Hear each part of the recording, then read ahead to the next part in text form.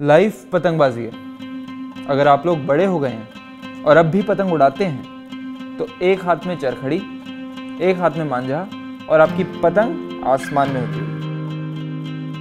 पर वही पतंग उड़ाने के लिए बचपन में तीन लोग लगते थे। एक चरखड़ी पे एक मांझे पे और एक कन्नी देने वाला।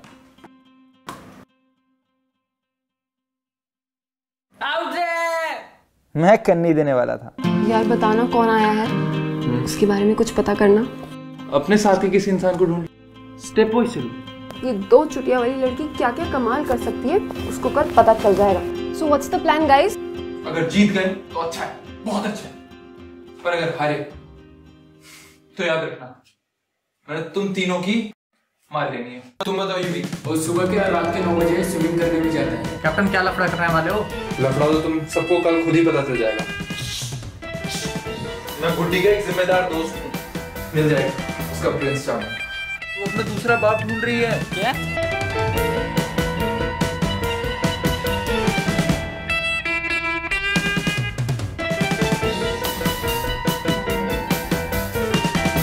साले तू मेरी मदद कर रहा है इसका मतलब ये मैं समझियो तेरे को छोड़ दूँगा।